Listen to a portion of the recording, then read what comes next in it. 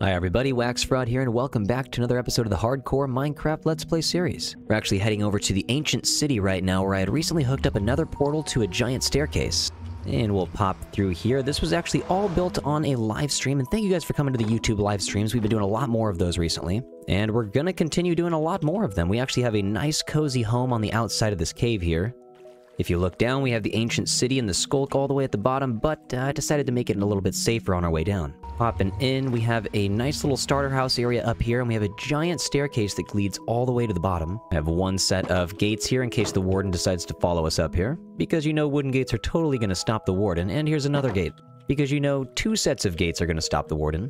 But we're in the ancient city now, and you'll notice that we have our nice cozy entrance all the way down into the deep dark land. It's so dark and desolate down here, but uh, that's about to change. Pretty soon we're about to start moving some villagers down here. But first, we are making a sculk farm today. We're going to be grabbing a bunch of this stuff right here. While we're down here, though, on stream, I noticed there was a couple of shriekers that I did not cover up with wool, so I think we need to make our way over there. I want to keep some of the shriekers out here because I do want to spawn the warden eventually to be able to capture it. We actually have this guy right here. Let's bridge over real fast. We covered this Shrieker up too for the most part. Let's see if we can take it out without any noise. And I'm now just realizing there was a Shrieker right there. Man, I really gotta be careful down here. Let's bridge over here real quick. I'm gonna take this guy out. Oh no, that was bad. Why did I do that? Oh, I think we reset those, so we should be all good. This is the one shrieker around here, though. I'm just gonna place this, place this, and I know that this is gonna burn real quick, so let's just do that real fast. Let's take you out. Let's get you out of here, you out of here, you out of here. If my memory serves me correctly, there is another skeleton skull down here, and voila, there we go. Oh my god, there was a shrieker right here. How did I not see this? What is happening? How did this thing not get set off? That's insane. I'm gonna take you right now.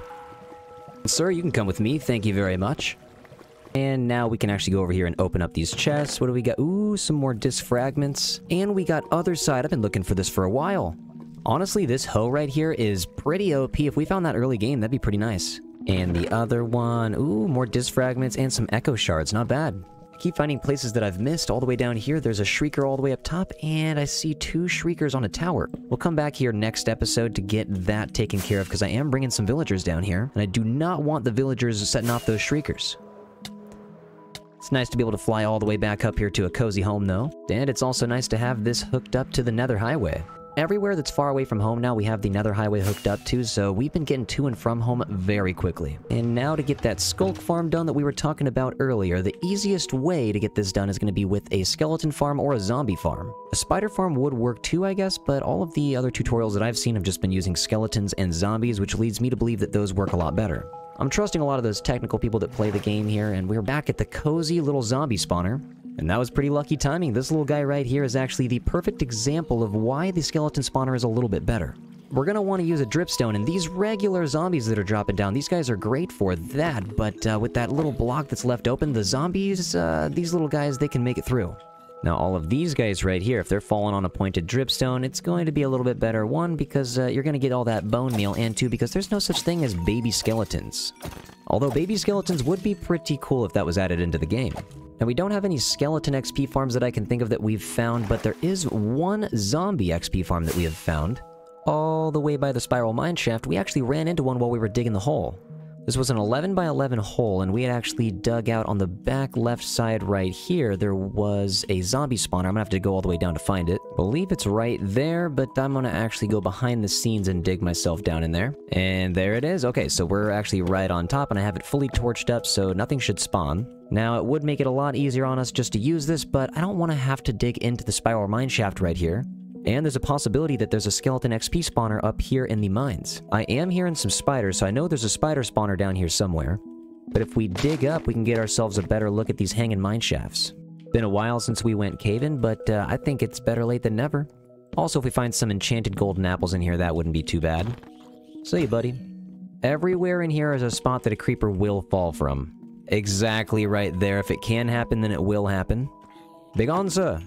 Okay, get out of here, please. And be gone. I have a lot of this lit up down here, but I do want to show you guys real quick how the Sculk Catalyst works. And that guy is holding on to some tuff... That's my tuff, dude. What are you doing? But I'll float down here real fast. Hopefully there's no creepers that are jumping back around here. We have a slime right here. There's a zombie right there, too. Let's, you know, get out of here.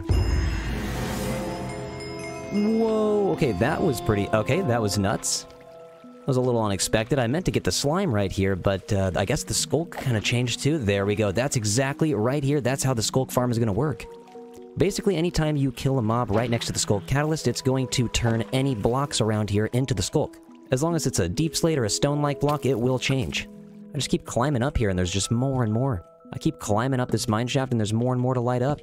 This is super cool. This is a part of the 1.19 update that I never really appreciate. If I find a mine shaft early game, I kind of just come in here real quick and find a chest and make my way out as quickly as possible. Ooh, we got some diamonds over here. You be gone, and you be gone. I think we're coming up on a... Yep, this is a cave spider spawner. I believe over here we're coming up on a cave spider spawner. See you later, dude. Is there uh, something stuck? Is that a skeleton right there? Okay, the cave spiders are here, and they're trying to poison us for sure. Get out of here, dude. Get out. Alright, well, I mean, everything's getting stuck in here. If we can get over here a little bit faster, I'd like to be able to get a little bit of this and break that. We don't necessarily need... There we go. And be gone, I'll get you with the pickaxe, sir. Wait, is there another spider spawner right? I think this is... Oh my god, this is... Hold up, let's break this. We don't need all these cave spider spawners right next to us here right now. Let's get this out of the way. Let's break that. There we go. There are plenty of cave spider spawners around, so let's just break any of them that we see right now. This place is so cool. It'd be nice to turn actually one of these into a village too. Revamping all the naturally generated structures is so much fun. I can't wait to get all that done. And ooh, we have an amethyst geode right here. I'm hearing a lot of baby zombies, but I don't know where they... Okay, there's two of them right here. This guy is stuck? See you later, dude. Sorry about it. It's like a giant open space of oak planks right here. What is happening? What is this? This is one of the biggest mine shafts that I've ever explored.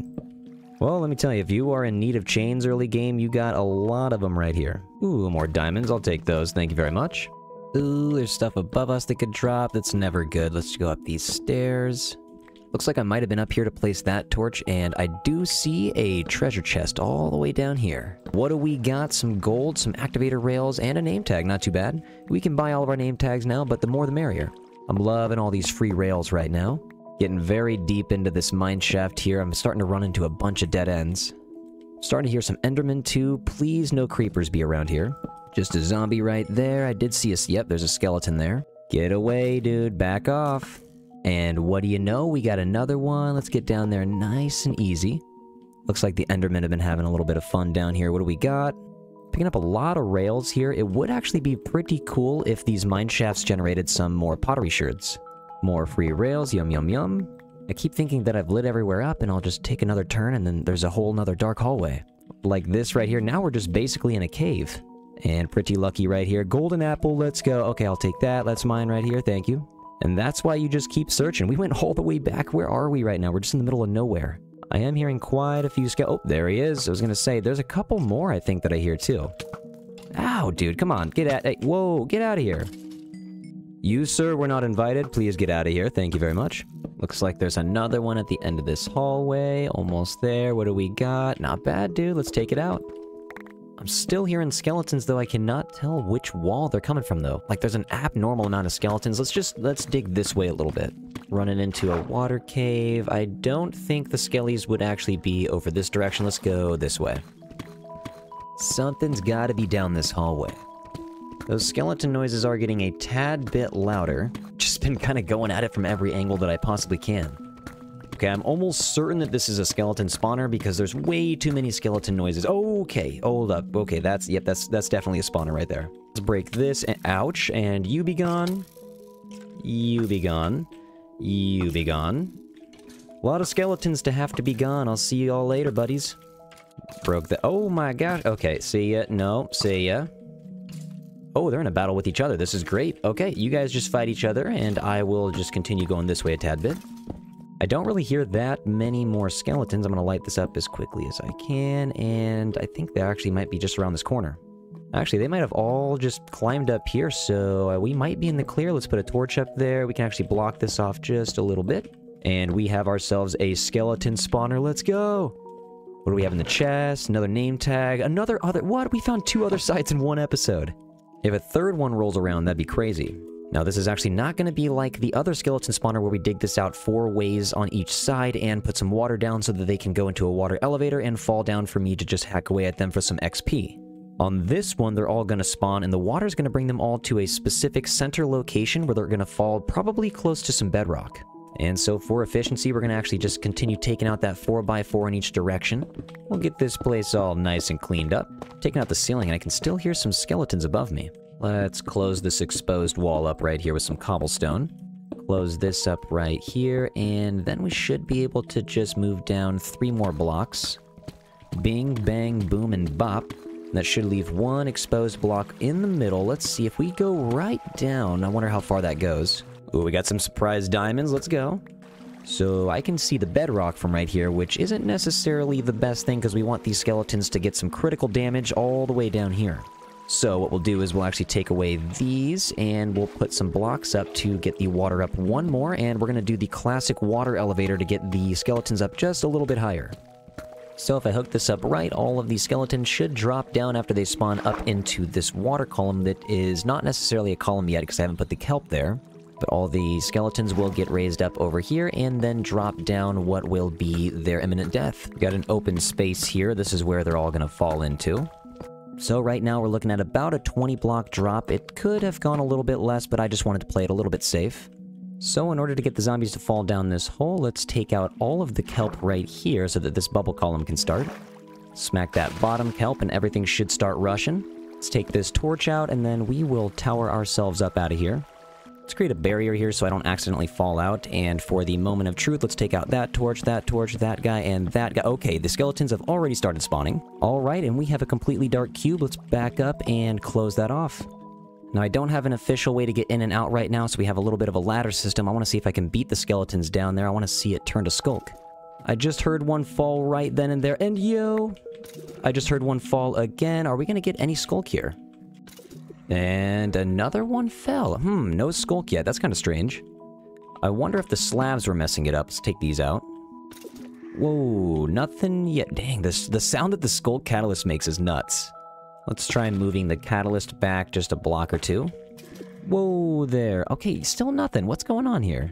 Move the dripstone down by one block. Let's see if that helps out at all. And I didn't see anything right there. What is... Okay, and nothing again. What is going on? So I think I figured it out. The dripstone was actually the thing that was causing the problem. I thought the dripstone was the thing that was going to increase the efficiency of this, but there you go. The dripstone was the one thing that was actually blocking it. So this farm actually does work. This is perfect. I think in order to get an extra space right here, maybe... Okay, actually, we're gonna have to bring the wall back, too. Did you see that? Okay, we're gonna have to bring a lot of this deep slate back, maybe about three, four blocks. Okay, this is awesome. I cannot believe we have a working sculk farm. It's about time, dude. Can always get a little bit of XP from the sculk, but for now, let's get this replaced. Gonna pick all this up before the next guy drops down. I think I'm gonna make a 15 by 15 room. This sculk catalyst right here can actually have an 8 block radius of detection. Ooh, okay, it looks like it works up here too, and wow, we really need to bring the walls back still. This is actually going to open up the tunnel that we had built on stream. Starting off, I lined up every three spaces with some polished basalt with some regular basalt on the corners. I wanted an easier way to get to this sculk farm, so we have a long hallway that actually goes all the way up to that mossy pathway. Takes a second to get up here, but uh, if we just take a little bit of a right on that mossy pathway, we can get over here in no time. We gotta hop back down though, we gotta complete that hallway. Also, I'd like to make a stone generator. Take some chiseled, polished blackstone, we'll throw it along the edges here, and then I think behind them we'll throw a glowstone. That'll actually bring a little bit of nice light to this hallway. To bring a little color on the hallway, let's actually just make the floor entirely out of moss. we just bone meal our way all the way back down to the Sculk Farm. There is some lava that's about to poke through, but luckily the moss is not burning. Let's take that down. Let's break the end of the hallway here. Okay, so now we're at the Sculk Farm, and we have a lot of Deep Slate to keep replacing this Sculk with, but I don't want to keep on using the Deep Slate. I'd rather honestly just use a stone generator. By the way, it would be amazing if there was a Deep Slate generator. So we're going to continue to clear out the walls here so they stop turning into sculk from this farm, but I think off to the left side we'll actually make a little bit of a hole to put this generator. First things first, you're going to want a double chest. Let's get four hoppers hooked up to that. We're going to get some stairs that are facing the hoppers. Once all the walls are up, make sure you have a sign right there so that you can waterlog all of these stairs and make sure that nothing runs out. You don't have to, but I'm just going to waterlog all of them. Add one more layer of regular blocks. Then just make sure to close it off before you put a lava bucket in the middle here. Now that's actually just turning everything to stone here like that, and you can actually AFK and go four blocks like this until it all turns back into stone. You might have to get past the sound of the lava and the water getting into contact here, because it's a lot of hissing, but uh, if you can move past that, then you're going to be just fine. After about a minute, let's see, what do we have on the side here? And we already have more than a stack, that's crazy. And it's just this nice little compact setup here. You have the lava up top, you got the water down below, and you got the little chest in the back. Now let's just make this place look a little bit nicer. Let's clear out the rest of these walls. I'm thinking we need to make a perimeter here. Let's actually go one, two, three, four, five, six blocks to the edge, and then we'll go on the seventh block. Let's go one down. Well, looks like I'm exposing the original ladder that I took into here. All good things must come to an end. We now have a bubble column finish up the corner here. The coolest thing about the sculk spreading is that it actually gets stopped by these slabs. Let's clear this up real quick. Let's take some stone and get to replacing over here. We finally don't have to use any of the deep slate. There we go. It should be... Yeah, it doesn't go anywhere past the slabs. And the stone is getting taken over. This is perfect. Sorry, skeletons, but this is, uh, this is the way it has to be. So what I did was actually move the cobblestone generator all the way up at the top. I decided to cover it up with some deep slate tile walls too, and we moved it all the way to the back. And it looks like some shriekers are actually starting to spawn now, which is not going to be good. Oh my god, there's there's two of them. Oh, actually there's three. This is, oh my god. Under the frog light, we're having a little bit of an issue catching some of these materials, so I think we're going to have to catch a little bit of a hopper system right down here. Of course, there is a Shrieker under here where I'm trying to put the hoppers. Let's get you out. Dude, these things are spawning so much. There's more sensors already. One just spawned right before our eyes. I am learning very quickly that this is a very loud farm. We'll start with a double chest, and we'll line up some hoppers going all the way to the end. We're gonna have to take out this frog light for a second, get a little dangerous, and we'll put that there. Let's go up here. Got that glass back in, and put a stone piece right there. We're good to go. I just want to see if this works, and okay, it doesn't look like there's any items right there. Is the chest getting filled up? And it is. This is perfect. What I'll do is cover this up right here. It's starting to get pretty dark in here, so I think the quartz on the floor in between some of this deep slate and probably on the walls is going to be the best move. This is looking nice and smooth already. I think what'll look even smoother is actually just in the corner putting some crimson stem, and I think we might leave it unstripped. That's, ooh, that's nice. And if these went from the ceiling all the way over to the middle of the farm, actually, let's get the Hyphae over here. It's kind of a weird name for a block, the Crimson Hyphae. That's looking clean. I love the contrast of these colors. Back to mindlessly placing blocks. Wow, it's already looking so much brighter in here. Let's replace these four blocks right here with some ochre frog lights so it just looks a little bit nicer. The walls are built up and we got to start thinking about the scaffolding that is in the way of getting the ceiling done. I have, as you can see, the glass tube kind of risen all the way up here as high as I can go. I might bring it up a couple more blocks. Kind of funny, we have the pyramid effect going again in back-to-back -back episodes. We get the glass replaced up in here, so there shouldn't be anything able to fall out. The pyramid effect, I don't think is able to go any further. I have the water tunnel that's going right above that deep slate block. So if I were to go up to the stone generator here and I break this block, one block right here, that's actually where the skeleton farm is. And if I break that, it'll just open up a whole can of worms. So that is going to be the limit for our pyramid effect here. I think in the corners, actually, let's just use some glowstone and then maybe we'll terrace down with some blackstone and some deep slate. The skeletons live in the darkness, and then they come all the way over here to a nice bright surprise. I'm going to take this layer of deep slate out, and then let's get it replaced. We'll do chiseled polished blackstone on every other block, and then let's see chiseled deep slate right here. Ooh, that's not looking too bad, and I fell. I'm noticing now that these chiseled blocks are not really directional. Like, if I place it like this, it's going to face that way, and if I place it like this, it's just still going to face that way. Same with the blackstone blocks, too. I guess it doesn't really matter, though, too much. It's still pretty cool the way they're textured. We have an unlimited amount of glowstone, so I'm probably just going to repeat this pattern up here on the ceiling. Okay, actually I lied. We have some glowstone still up there, but now we have some hanging azalea plants, and we use the blue ice and the packed ice alternating all the way down. We'll finish this off with a chain and an end rod right there. Hop on the ground here, and the ceiling is actually starting to take some of the colors of the sky, which is kind of nice because we're all the way down here at bedrock. We'll line up the last row with some hoppers over here. And on the wall right here, we're using some red nether brick and some end stone alternating, but with the quartz stairs back behind, just to give the crimson stem a break, we're going to use some warp stem back there, but sideways. I also thought that only end rods over here would look cool, but we're going to alternate with some lightning rods as well. And even with half the end rods, it's still going to be just as lit up. On those corner frog lights, let's go ahead and put some torch flowers in there. I've been experimenting on the floor a little bit. I've been trying to use a lot of reflective blocks like this blue ice and the gold pressure plates. The quartz on the wall is super reflective as well as you can see the end rod is reflecting. The gilded black stone is a little bit shiny and I thought it would be kind of cool to add all of these diamond ore blocks that we have been digging up. We actually found 47 of them. Now that right there, that's not looking too bad. And I know they're called heavy-weighted pressure plates, but I'm just to call them the iron pressure plates because that's really what they are. If we get a higher angle over here, ooh, this is looking good. We have like a little throne that's leading up over into the stone generator. I'm loving the reflective blocks on the floor and all of these end rods on the ceiling. We can run up into our throne and go grab as much stone as we possibly can. I also had an idea that we could use to connect the tunnel to this giant opening that we made here. Let's actually use some crimson stem and go all the way down. Bring a little bit more color to this mossy hallway. Next, I was thinking we could actually hide some redstone blocks in between the crimson stems. We could put some powered rails on top and use all of these rails that we had found in the mine shafts. Now we can just lazily use a minecart to get back and forth. I actually have one right here. See you later, buddy. It's not like I was going to use you right now. And I actually thought this hallway was finished with the decorations. I just keep thinking of new things to put on the sides here. We're going to use some deep slate brick walls. Then we're going to alternate some lime candles and some white candles.